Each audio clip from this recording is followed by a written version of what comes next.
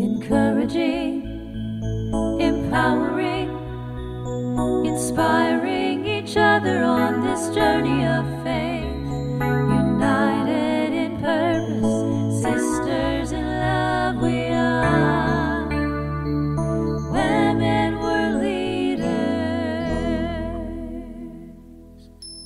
Welcome to Celebrating God's Grace, a Women World Leaders podcast.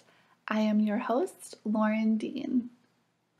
Thanks so much for joining us today as we celebrate stories of what God is doing throughout this ministry, our lives, and the world.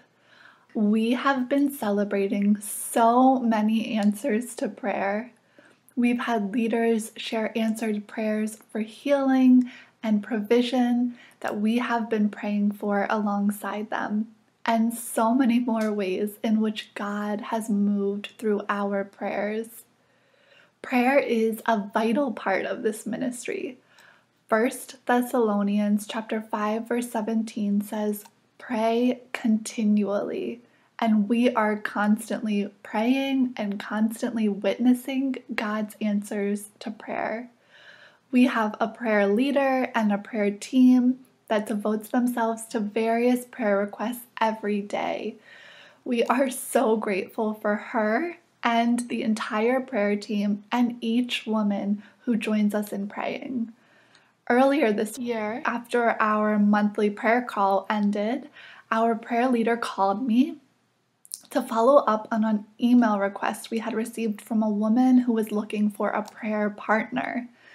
Our prayer leader connected her with a woman on the prayer team, and right away, these women were in touch with one another, praying with each other, and sharing what an unbelievable blessing it was for them.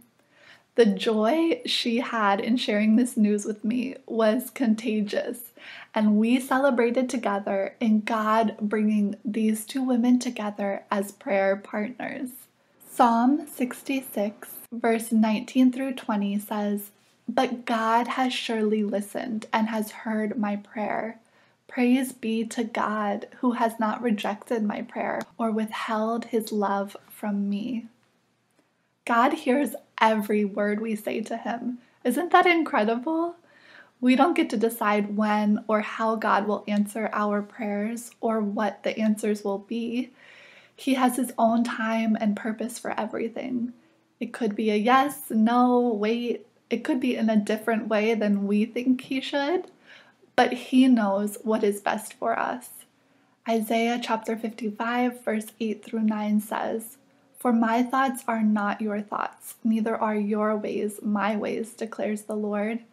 As the heavens are higher than the earth, so are my ways higher than your ways, and my thoughts than your thoughts. The power of prayer is in who we are praying to God. We see prayer all throughout Scripture, and Jesus models it as an essential part of every believer's life, both in praying alone and with one another. This is how we talk and listen to God. He wants to hear about the big things in your life, all the way down to the smallest details. Your needs, your thoughts, your desires and He wants to pour His truth into you. He is longing for relationship with us. We have all sinned, which has separated us from God and broken our communication with Him. But God has good news for us. Through Jesus Christ, He has made it possible for us to have a relationship with Him. Jesus Christ died on the cross in our place to pay the price for our sins was buried and raised to life again. Anyone who turns to God and puts their faith in Jesus Christ is reconciled with God and can communicate with God. This is God's saving grace.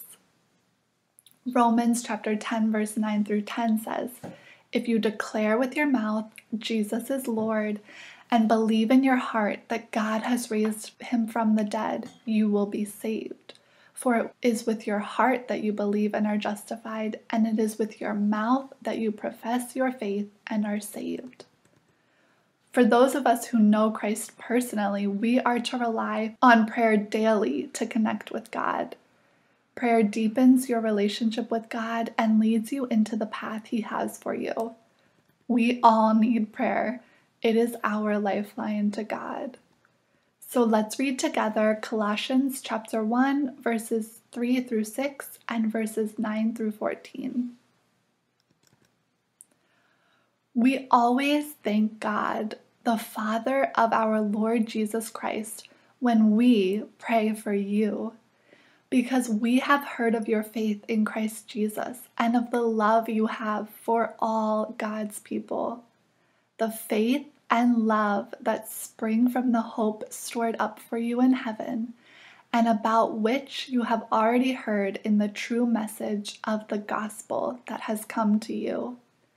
In the same way, the gospel is bearing fruit and growing throughout the whole world, just as it has been doing among you since the day you heard it and truly understood God's grace. For this reason, since the day we heard about you, we have not stopped praying for you.